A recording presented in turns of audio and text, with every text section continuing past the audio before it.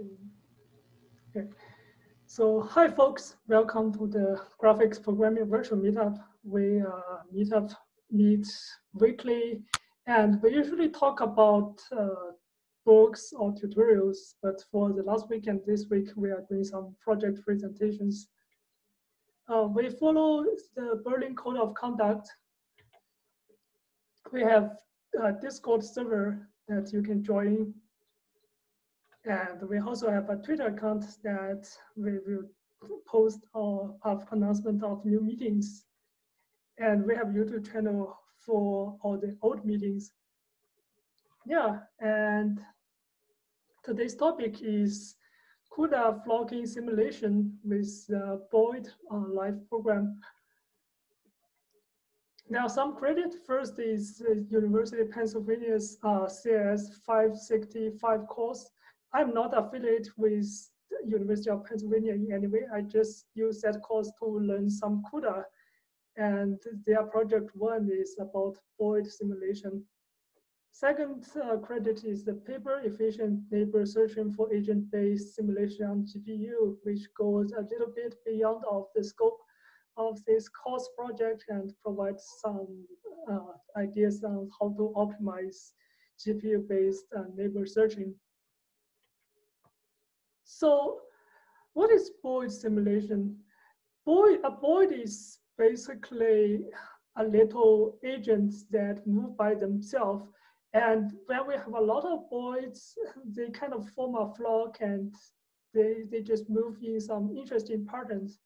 And there are three rules of boid that those rules are often have some conflict with each other that cause boid to move in some interesting patterns. The first rule is called separation. The idea is that if we have a bunch of boids nearby our boid, then those bunch of boids will try to repel our boid away uh, because our boid do not want to be overcrowded. Notice all of the boid have this concept of a sphere of influence if something is outside of the distance, they do not have any uh, impact on the on our boid. And we just run this process on all of the boid. And it's a double for loop. We run the process on all the boids, and for each boid, we run it on all the neighbors. The pseudocode is like this. So separation rule for each point, we loop through all the other points. If they are not themselves and they are close to our little boids, then we repel them away from the neighbor boids a little bit. The, the second idea, uh, second rule is the alignment rule. So the velocity of each individual boid are trying to steer towards the velocity of the neighbor boids. The pseudocode is very similar. We need to calculate the average velocity. And, and because we are calculating the average, we also need to accumulate the count. And afterward, if the count is greater, sorry, this should be greater than zero, then we need to divide by the count to get the average.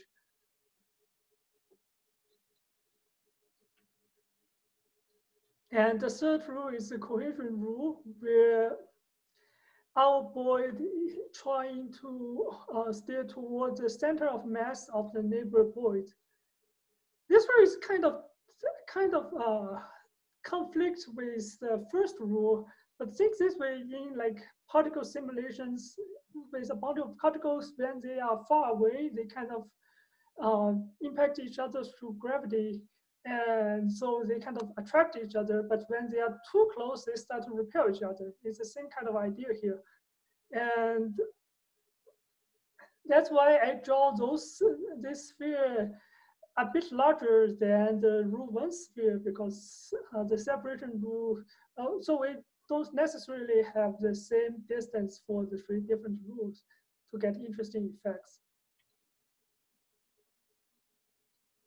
And the pseudocode is also also almost the same, just calculates the center of mass by accumulating all the mass and then divide by the neighbors count.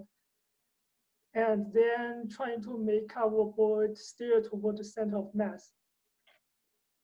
With all those three parts, we can have our boid algorithm. Pretty simple. We just have a nested for loop. Uh, this is this for parallels uh, syntax in the pseudocode means I want to launch a CUDA uh, kernel to do the stuff because um, just just we can you can use, use CUDA to get uh, way better performance than sequential code. And inside the kernel, we need to loop through all the boids again to accumulate the new velocity and then get a new velocity. Since we have uh, like this nested for loop, uh, we have this big O n square algorithm for boid.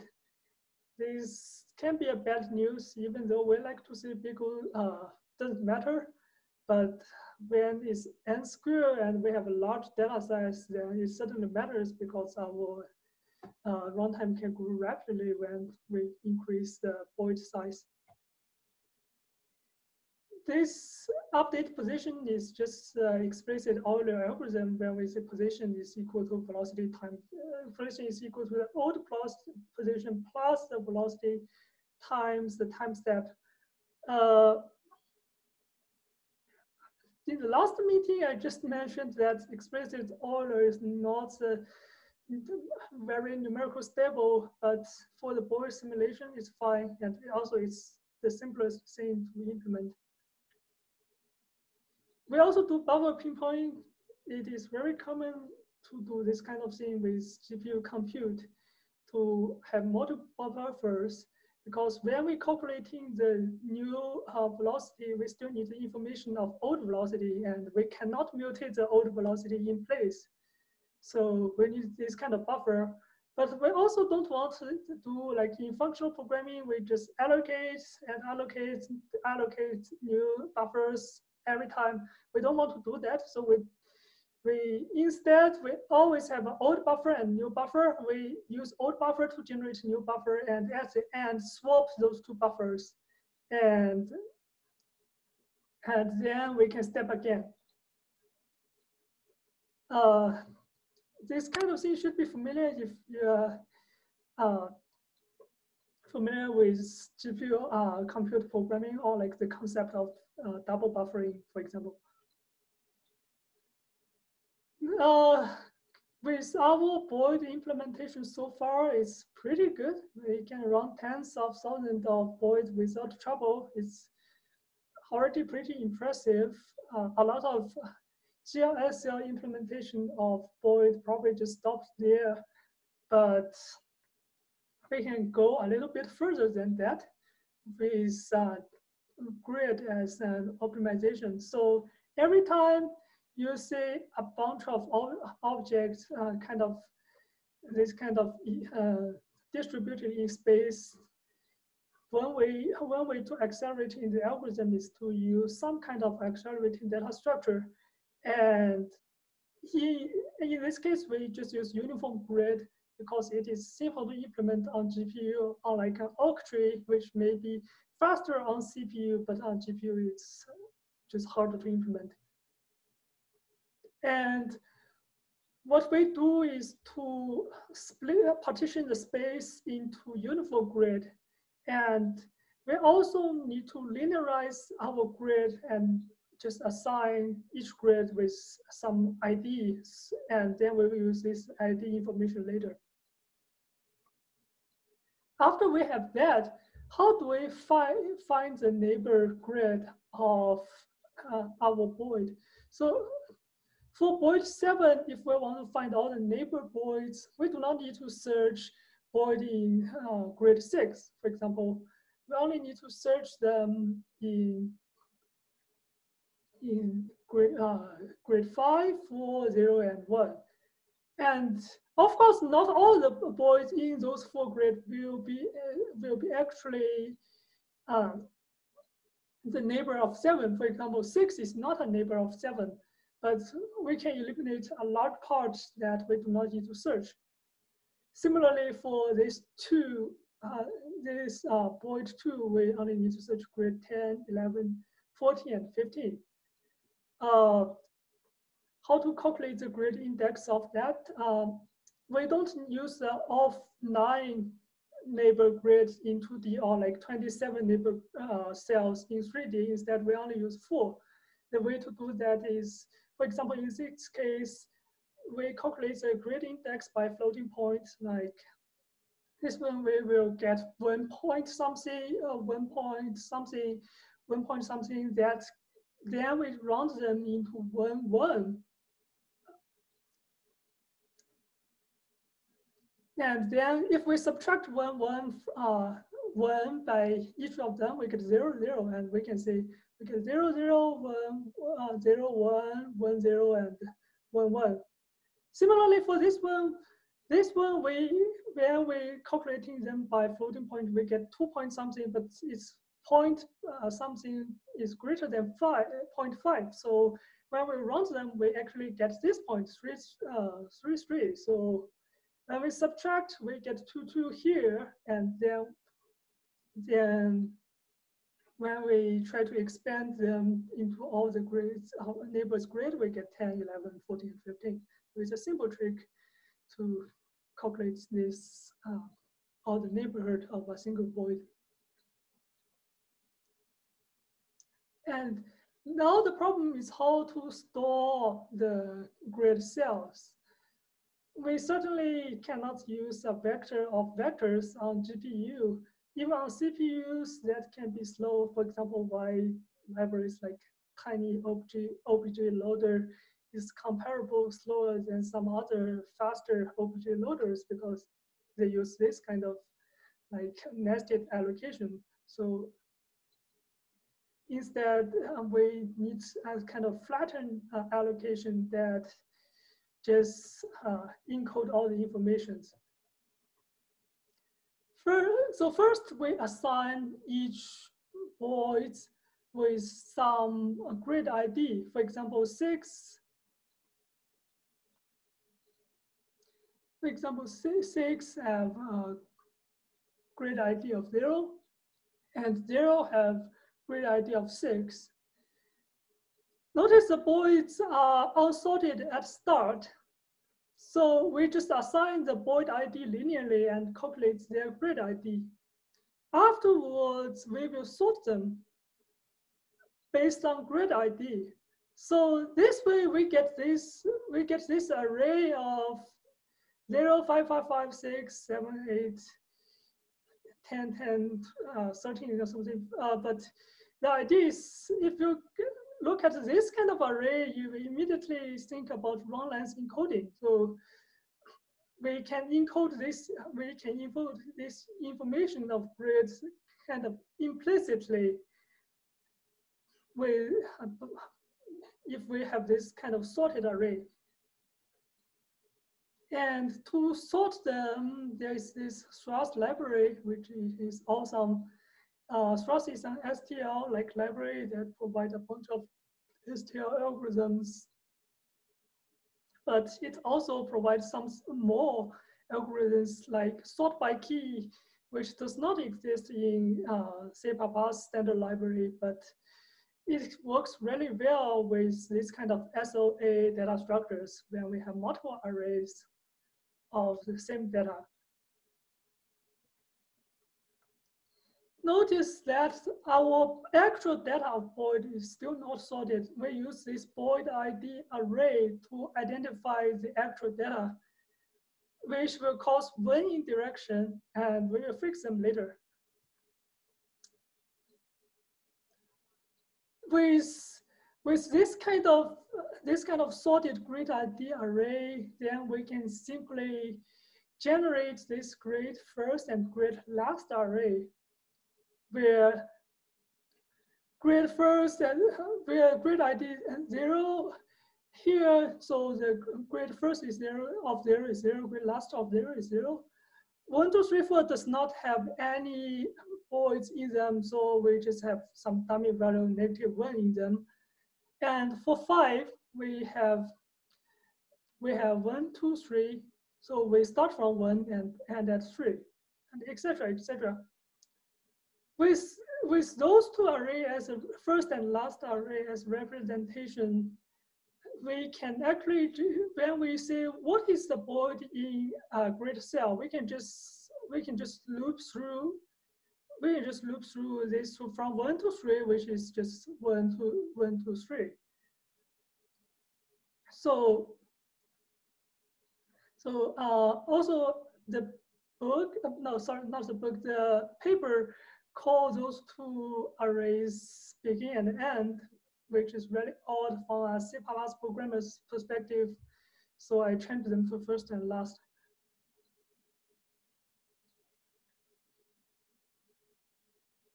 Uh, here's the pseudocode.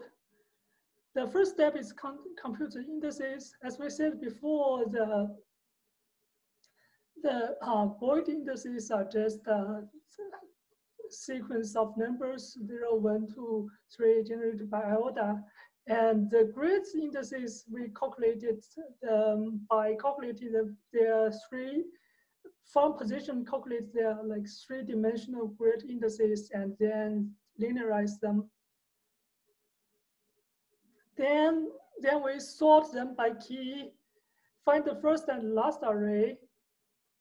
Then in, then in our main, main kernel, first for each point, we get all the neighbor cells. Then we look through the neighbor cells, get all the neighbors inside that particular neighbor cell and then calculate the position and the velocity of the neighbor and use our three rules to accumulate the result. The remaining part is the same. Notice this indirection here, which can cause a bit of, little bit of performance loss. And later by sorting the actual data, we can avoid this. So the next step is to cut the middleman that uh, indices array.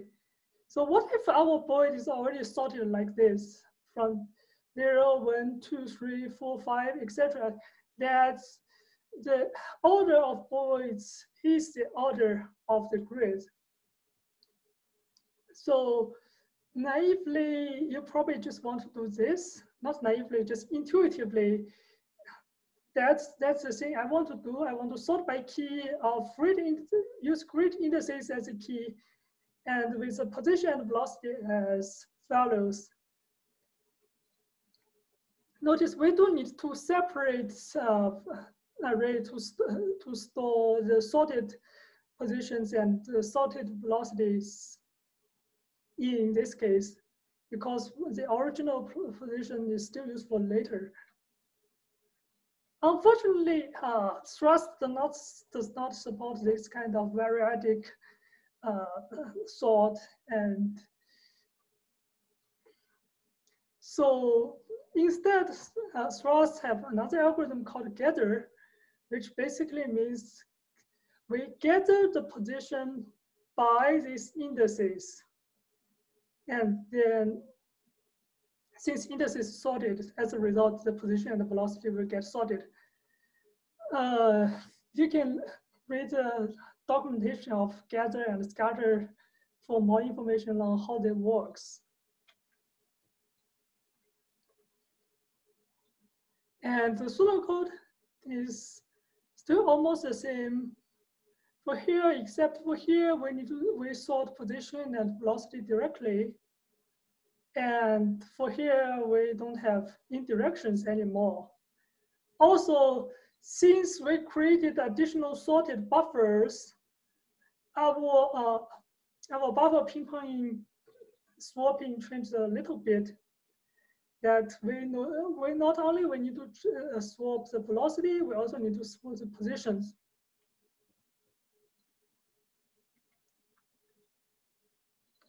The last step I want to talk about is shared memory optimization as mentioned in that paper.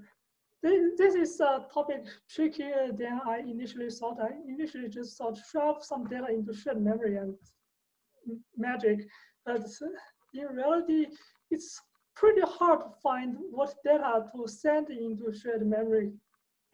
So to understand what is going on with shared memory, uh, we need to have some understanding of the CUDA computing model. Uh, don't worry if you cannot understand this part. It is it is pretty tricky and I, when I first learned this, I spent quite a bunch of time to understand it.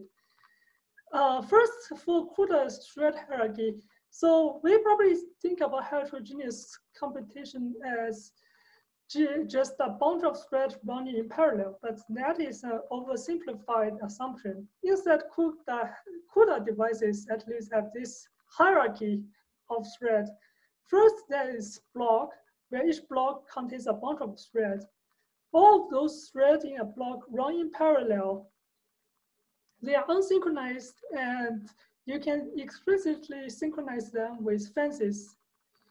The other thing is they can share memory usage, which is called shared memory, of course, and that, that is our topic. And then, then there's grid. Each grid contains a lot of blocks. And however, blocks do not share memories other than the global memory. So each block contains their own shared memory, but blocks do not share, share some kind of shared memory. Now let's talk about CUDA memories. For CUDA memories, first we have global memory, just like the global memory on CPU. They are large but slow off-chip. There's also local memories, which is actually reside on the memory space of global memories, even though, even though they, even though they, uh, their scope is inside each individual thread. When you create a CUDA buffer, it's a global memory. When you create uh, some kind of array in the kernel, then you are creating local memories.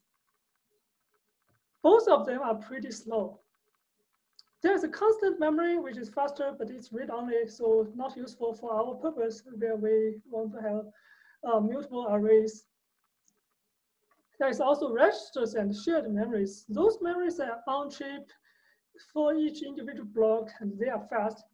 Registers are uh, not shared between different threads in a block. And they are for like small automatic storage duration objects, like for example, int and floats in the kernel.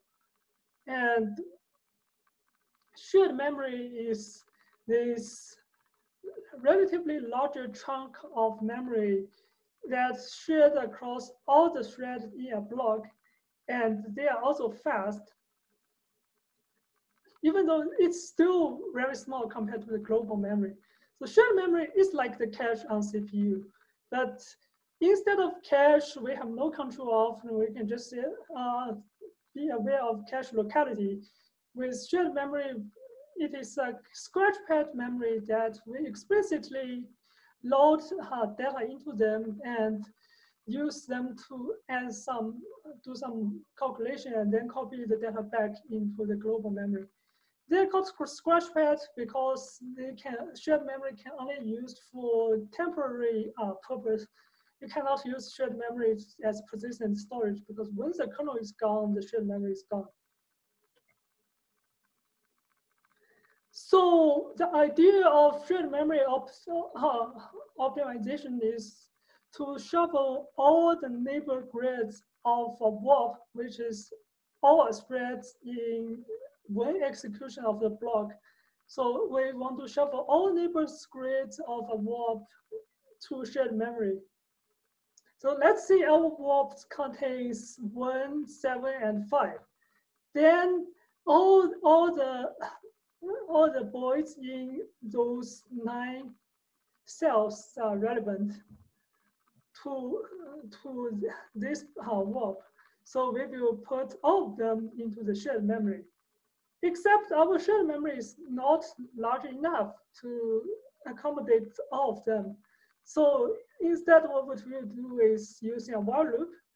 We process a little chunk at a time. It's a little chunk, copy to shared memory, process them, and this little chunk copy to uh, shared memory, process them, and etc. etc.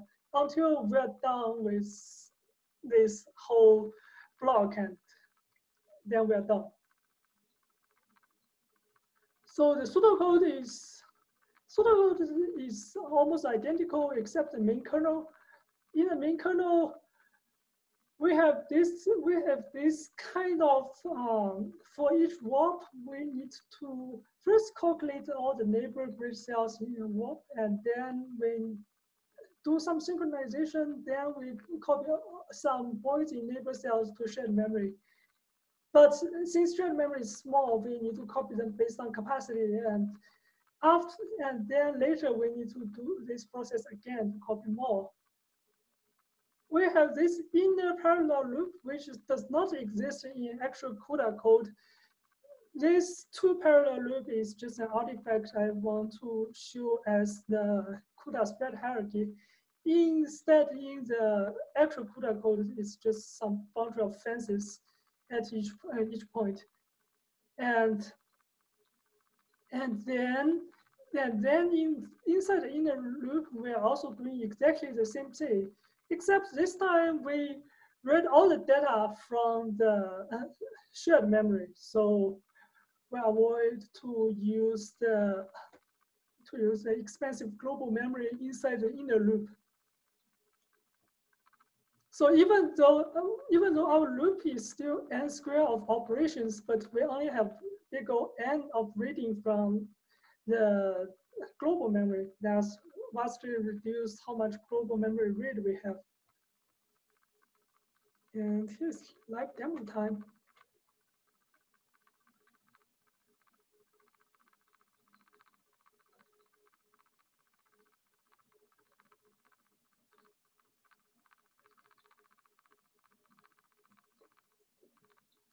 So four algorithms looks like exactly the same. They don't have much differences except the speed. So I will not show I will not showcase them. And in, in here, each particle each particles is represents the velocity. Uh, the color of particles represents the velocity. So like velocity vector I do plan to later use instance rendering to and render some kind of airplane or birds instead of just particles, but I just haven't done that yet. We can even have more, like a million particles.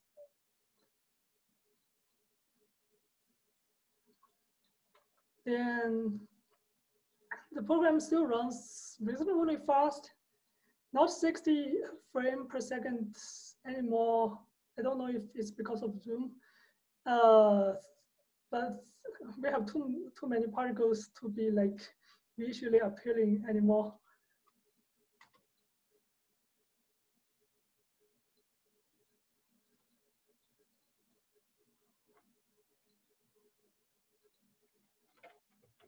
Yeah, that's that's a presentation. Any questions?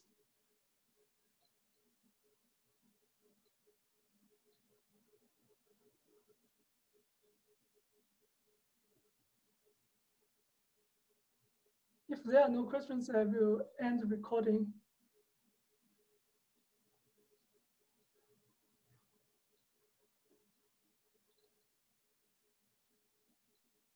Okay, there's one in chat. How long did it take to uh, take to learn how to program with CUDA course? Uh, I learned this stuff like just following that course and doing uh, reading some books in, in like a month, but not a long time. I do have experience with with uh, some other parallel computing stuff before, like uh, computer shaders or SQL, but CUDA is kind of a new word for me. So I, I'm not an expert. I still need to learn a lot of stuff in CUDA. So I cannot say like how much time you, you can spend to become really good at CUDA. Any other questions? Hey, Lesley, this is Orhun. Uh, hi, Orhun. Uh, I want to ask, uh, how about instead of CUDA, other compute engines like, I don't know, OpenGL, Vulkan, DirectX? Uh, yeah, so the first part is, I think, what really shine in CUDA. You can just do something like, well, not this, but yeah, do something like this, where in, in GLSL, it's a bit tricky because you need to write your own like radix sort or whatever sort, for example. And so this kind of thing is a productivity boost for CUDA that's I don't know if it's available in SYCL, but definitely not in GLSL.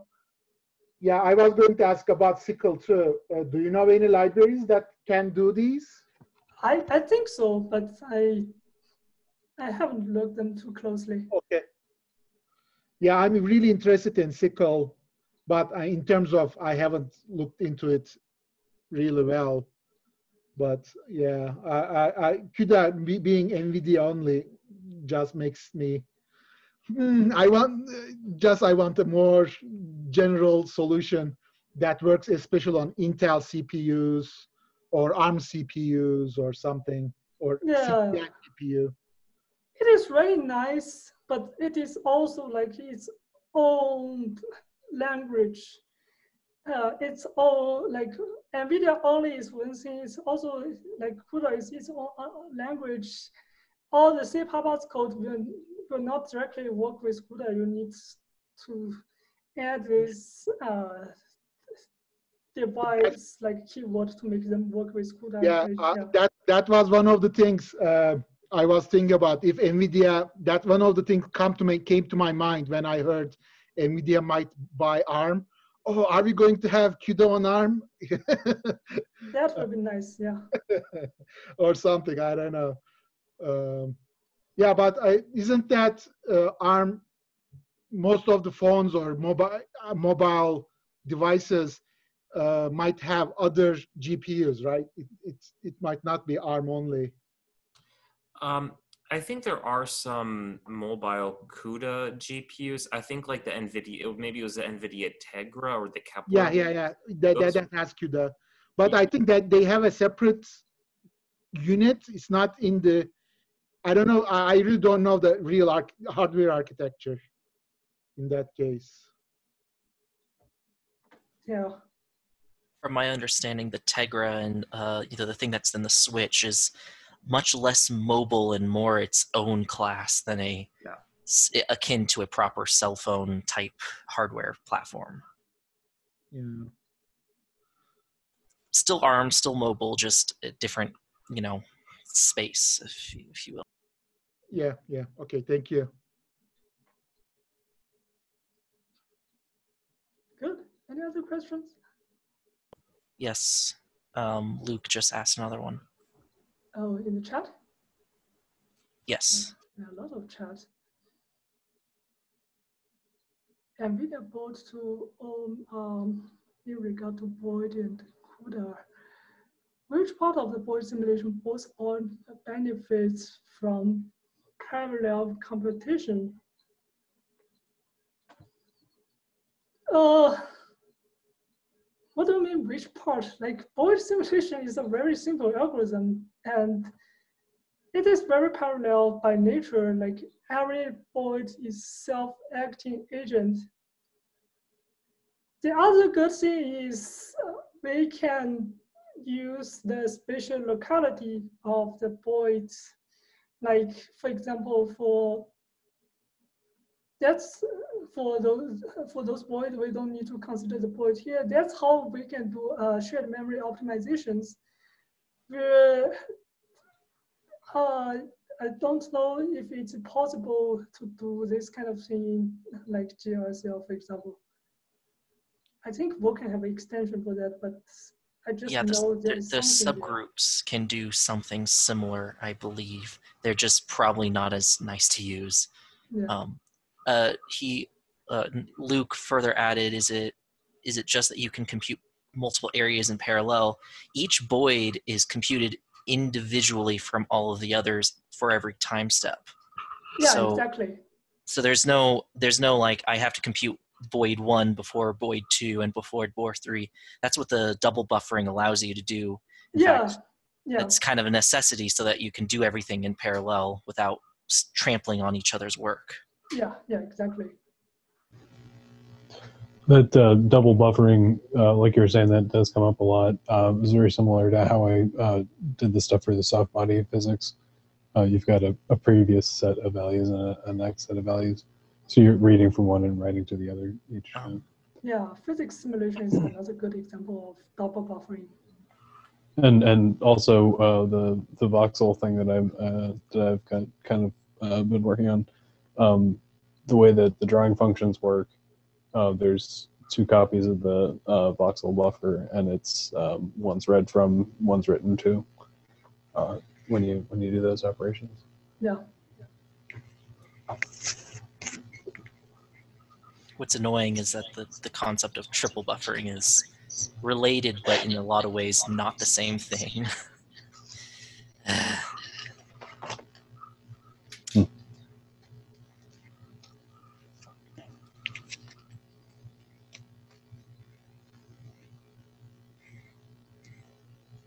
okay. Any other questions? Okay, uh, let's see. Double buffering allows you to do what exactly?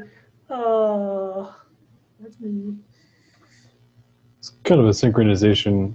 Uh, uh, well, prevents um, what is it? Uh, Certain classes of hazards. drawing- Yeah. Can you, can you see this? Like this drawing software, I'm opening it. the loading screen, yeah, we can see it. yeah.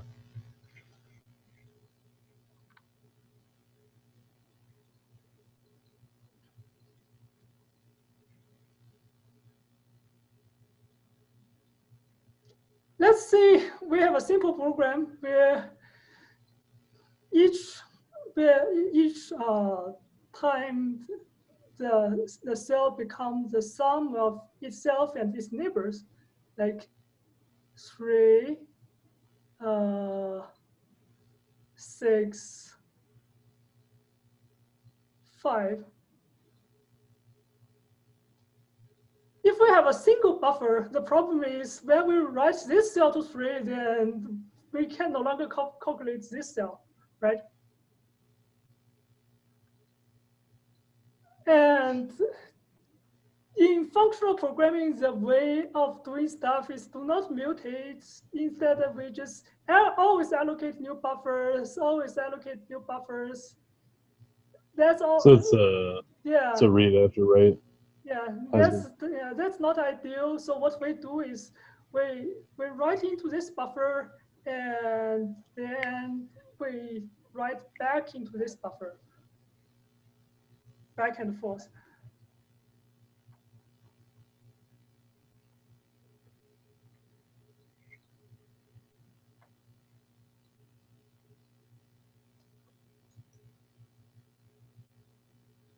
Uh, a, a very old example of double buffering is, and you'll see this all over the place in lit, quote unquote literature, um, but in old consoles and computers, the graphics driver, which wasn't a driver like we think of today, it was the thing that was uh, get that was the place where all the video memory was located so that the VGA, the CRT computer monitor would be reading from it. And the problem was is if you were writing your graphics to the frame buffer while the while the CRT computer or CRT monitor was reading from it, you would be able to see the the data as the graphics as it was being drawn every frame, which would look terrible. So to fix that, you have two frame buffers, and on one frame you write you read from buffer zero So the CRT is reading the memory in buffer zero because it's just reading it linearly left to right, up top to bottom. While in the buffer B, you are drawing your graphics, whatever, and whenever the CRT is done drawing the old frame, it switches to the next buffer and ping pongs back and forth so that you're always drawing on the buffer that is not being read from so that you don't see the artifacts of the drawing as it's being rendered. Yeah. It's, it's a read after write hazard that you're you're solving. Tri- Okay. triple buffering is a way of hiding latency. It does not make anything faster. You're, yeah, the, the, yeah. Just link this. You need to. Yeah just This is a much better description than a. Yeah, this is this is a good resource on the topic. Yeah. Double buffering come can yeah.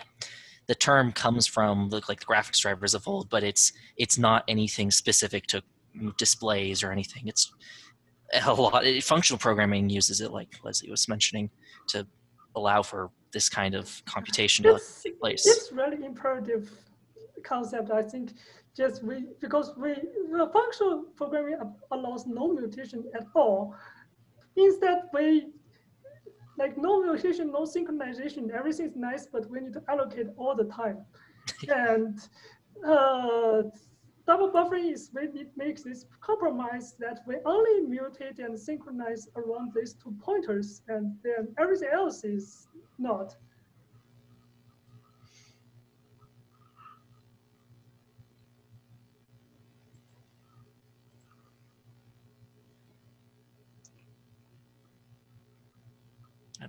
I, think I'm my explanation is literally parroting what the article is saying.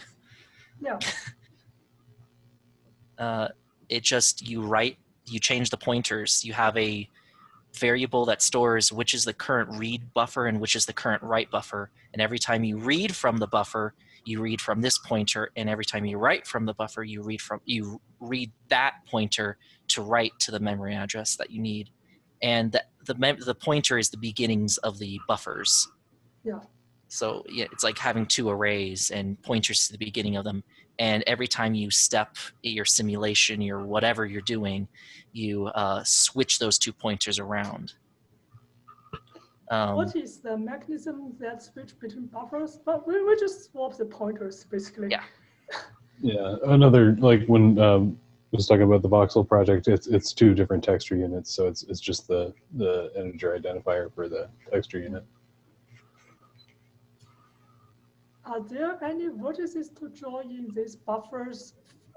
Uh, we we draw the position buffers. Uh, yeah, we also draw the velocity buffers. Sorry, as color.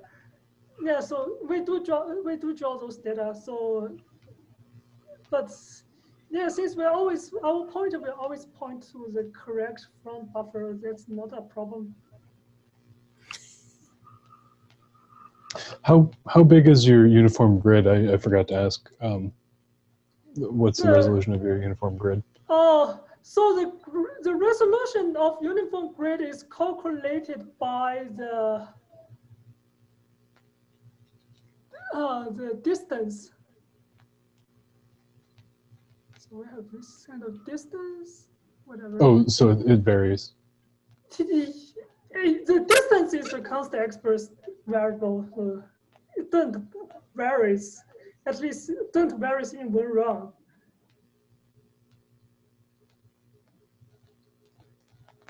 Grids. Yeah, yeah, we just calculate because because with like if our base is two times the like maximum of distance, we know that when we have when we have like this this uh boid three, for example, boid three will never need to calculate anything in like grade 15.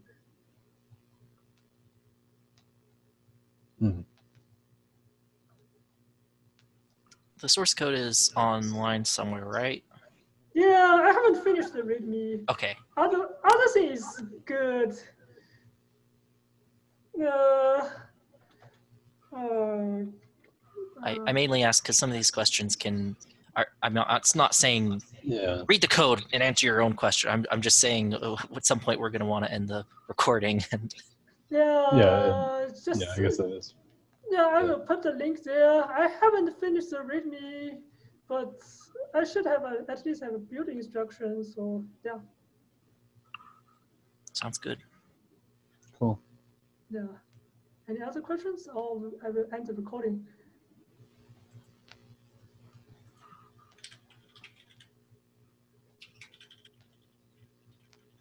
Okay, good. So, wait, there's more question?